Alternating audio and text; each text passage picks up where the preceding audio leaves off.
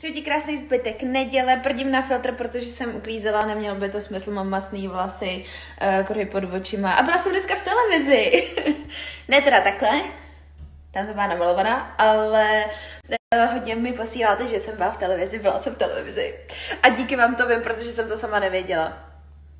Takže děkuju, neviděla jsem tu reportáž, ale uh, mamka se teď na ní kouká, že se to pouští zpětně, takže čekám na telefonát, jaký to bylo. Hodnocení. Čekám na hodnocení.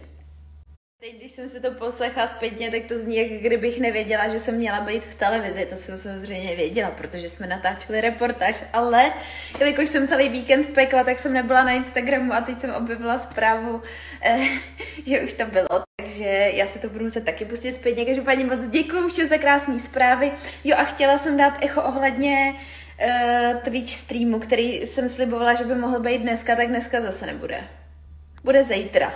Ale zítra už fakt bude, slibuju, slibuju, slibuju, že zítra fakt už bude, protože uh, dneska jsem ještě zapojovala nějaký světýlka, ještě jsem se dodělávala kabeláž a nechtěla jsem to jako uspěchávat, ještě si to tak jako užívám. Hrozně mám nutkání to tady ukázat, jak vypadá můj nový uh, streamovací gamerský setup. Ale musím to vydržet, protože to postnu ve videu.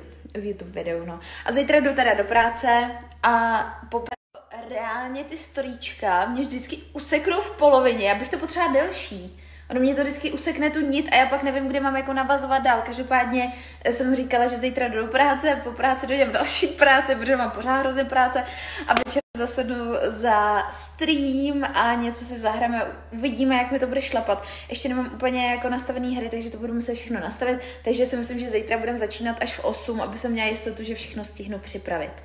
Tak, a hrozně moc se těším a všem děkuji za krásné zprávy.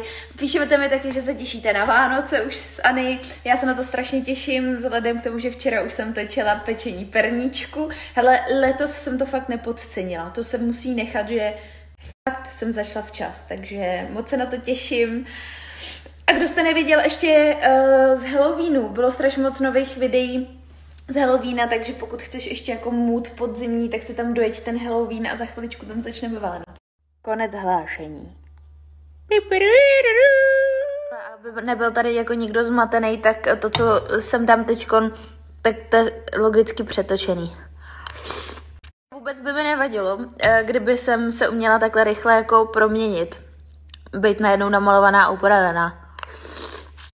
Přeji ti krásný den a já tady mám pro tebe tip, protože na Zalandu právě běží Kyber Week, který je plný slev.